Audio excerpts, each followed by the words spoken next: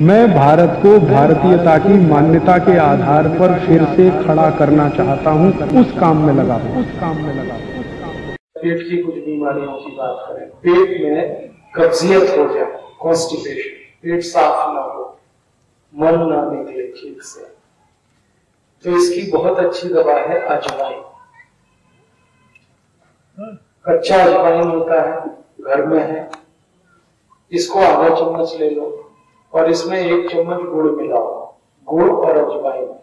दोनों मिला के चबा के खाओ, पीछे से गर्म पानी पियो। और रात को सोते समय करना ये काम। तो सुबह उठते ही एक ही बार में पेट साफ़ हो जाता ये कब्जियत रह ही नहीं सकती। अजवाइन और गुड़। रात को लेना है लेकिन ये सुबह नहीं। रात को सोते समय। और एक अच्छी दवा है पेट साफ़ करने के लिए। त्रिफला चूर्ण, हर वरुणा आमले से बनता है त्रिफला। एक चम्मच त्रिफला चूर्ण रात को सोते समय ले लो, या तो दूध से, नहीं तो गर्म पानी से। ये भी पेट साफ़ है। और एक तीसरी दवा है, अनार का रस पियो रोज। ये पेट साफ़ करता है। या चबा चबा के अनार के दाने खाओ, ये पेट साफ़ करता है। अमरूद खाओ, इससे पेट साफ़ होता है। खीरा और टमाटर खाओ बहुत पेट साफ़ करता है। रात को दूध में घी मिला के पियो, सुबह उठते ही पेट साफ़ होगा आपका। और सबसे फोकट की दवा बताता हूँ, पेट साफ़ करने। खाने को चबा चबा के खाओ। तो कभी भी पेट तुरंत साफ़ होगा।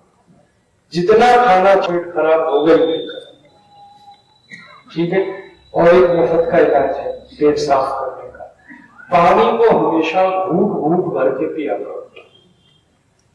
और पानी ऐसे पीना चाहिए, देखो, मुँह में भर लिया, थोड़ा, एक घूट पानी और फिर ऐसे ऐसे करो। चारों तरफ़ घुमाओ उसको। तो लार है ना वो पानी के साथ मिलके अंदर जाएगी। तो जितनी ज़्यादा लार आपके मुँह से पेट में जाएगी, पेट उतना ही साफ़ होगा। तो या तो चबा के खाने की आदत डालो तो भी लार ज़्यादा पेट में जाएगी। पानी को घूट घूट पीना शुरू करो तो पेट साफ़ होने लगता है।